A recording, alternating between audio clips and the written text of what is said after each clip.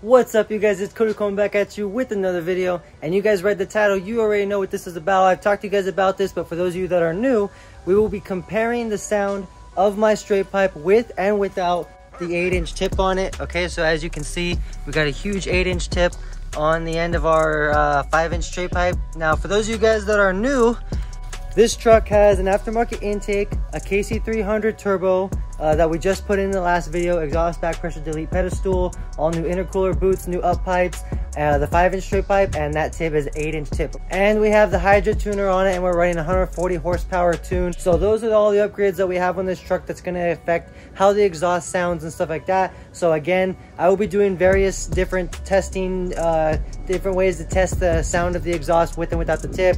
You know, a startup, uh, revving it up, taking off, driving by, driving between buildings, and I'll do each of those things with and without a tip. You guys can compare the sound. Uh, I'm telling you guys right now, if you have never really seen anything like this or know about this, I think you're gonna be very surprised at how much of a difference the tip makes. Adding that tip really eliminates a lot of turbo whistle, but you get a much deeper, more aggressive sounding truck. I think with that tip, my 7.3 sounds uh, much more like a 6.0, much more aggressive and deep sounding. If I take that tip off, the turbo whistle is insane, so much louder. You guys will see, this shouldn't be a very long video, so I won't talk too much. Let's just go ahead and pretty much get on into it real quick before we do. At the end of all this, at the end of this video, when you've heard how the truck sounds with and without the exhaust tip, I want you guys to tell me your opinion on what you think sounds better with the tip or without the tip. Now, as I've kind of mentioned to you guys before, if we all kind of agree that it sounds better without the tip, what I want to do is actually take this old piece of the straight pipe or leftover piece of straight pipe, cut it to size, and I'm gonna weld it on the end of my straight pipe I'm gonna take the tip off and weld it on and cut it to where it's just about the end of the tip, but you still can't see it.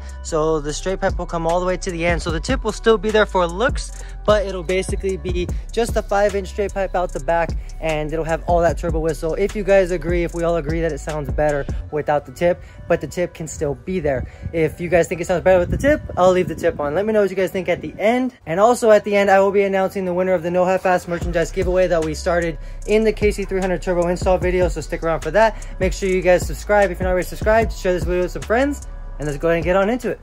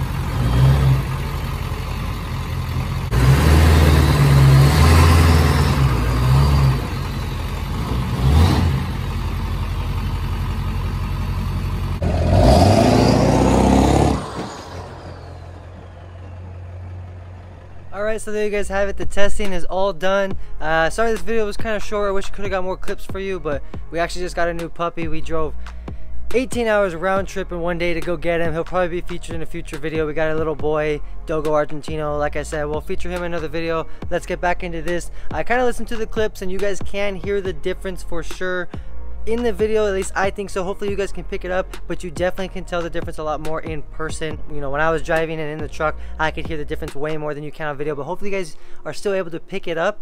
Now originally I thought that I liked that turbo whistle sound a lot more. I do I do like the turbo whistle. I miss the turbo whistle but all in all especially at high RPMs I actually now realized, now that I took the tip off that I prefer that deep roaring aggressive sound that that tip makes when it's at really high RPMs like I said to me it sounds a little more like a 6.0 still not as good as a, as a good built 6.0 with a nice exhaust system but it does kind of sound more aggressive and more beastly with that tip on there. So I thought I was gonna like it more without it but I think I like it with it. All in all the turbo whistle is cool but I like that aggressive sound. Tell me what you guys think. Uh, should I just throw the tip back on and run it with the tip like you guys heard in the videos and the comparisons? Or should I weld that extension on there and then slip the tip all the way over the extension so we have a straight 5 inch all the way back with all that turbo whistle? Tell me what you guys think. Other than that hope you guys enjoyed the video. Again sorry it was a little short. And uh, let's go ahead and announce the winner to the giveaway. And you guys killed it in the last video in the KC300 turbo video. I told you guys if you get that video to 125 likes before we announce the winner the winner would get a hat and a decal. And you guys killed it. We got way more than 125 likes so that is the case. The winner will be receiving a hat of their choice and a decal of their choice okay? So again what you guys can do if you want to see more information is go to nohalfassapparel.com and you can see the different hats and uh, decals that we have and the winner can tell me what they want. So let's go ahead and pull up the uh, random comment giveaway website and uh, see who won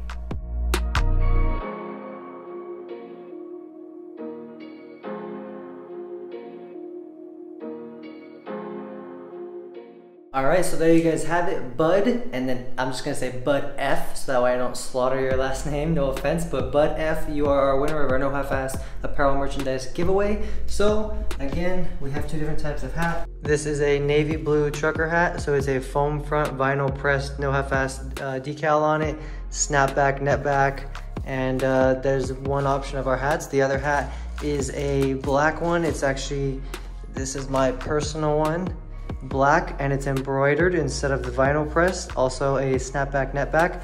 But yeah, this is a this is a cloth cloth and and uh, embroidered instead of the vinyl press. So two different types. You can pick the one you want out of one of those. And then of course we have the two different style decals. We have the no half-ass decal with the dollar signs on the end and the regular no half-ass decal so you can pick one of those, or you can pick the large no half-ass decal, which is on the back of my truck. All right, other than that, thank you everybody that entered. I hope you guys enjoyed the video. Make sure you stick around for future ones so that way you can enter in the next giveaways because we will be doing more. Uh, hit that subscribe button if you're not already subscribed. Like this video if you enjoyed it. Leave a comment down below as I asked earlier. Check out nohalfassapparel.com and I'll catch you guys on the next video.